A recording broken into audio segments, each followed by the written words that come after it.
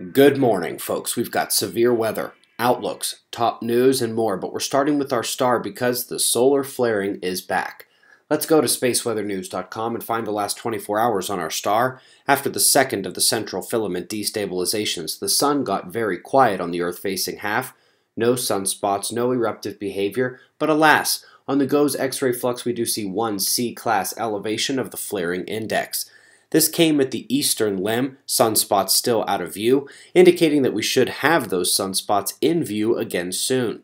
Nice ionospheric excitement visible on the DRAP during the flare event. It was not large or anything, but anything is relevant in this minimum period of the cycle. Eyes on it. Meanwhile, if you want to watch what happens to the coronal hole structures here after the filament destabilization, looks like the dark patches are shrinking, perhaps even all the way to coronal hole evaporation.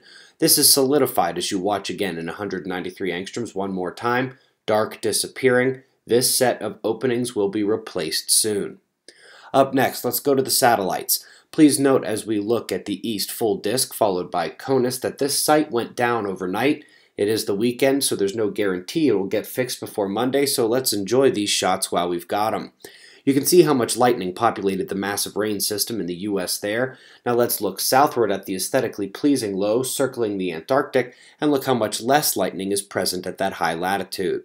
Today's null school run at the end of the video will focus a bit on Super Typhoon Maria, but for now, let's get Himawari shots at the system at mesoscale zoom, even with the satellite jostles, the bubbling circulation and penumbral line should be visible within the structure. The system is heading northeast towards the island chain between Taiwan and Japan. Folks, Beryl in the Atlantic breaks another storm record. We see the same developing for Maria in the Pacific, which has become the top ACE event of the year. Top storm report of the last day stretched from Kuwait to Dubai. Heavy rain, strong microbursts, and a thick dust storm. These events happen periodically in this region, but don't usually do much damage to infrastructure. This was a strong one.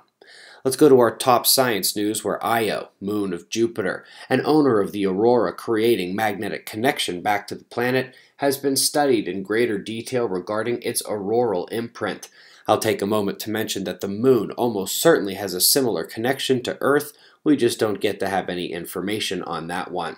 Let's close out with some visually pleasing pieces from Hubble here. In their latest release, you're supposed to focus on the large cluster, but it is always the little things that tend to catch my attention.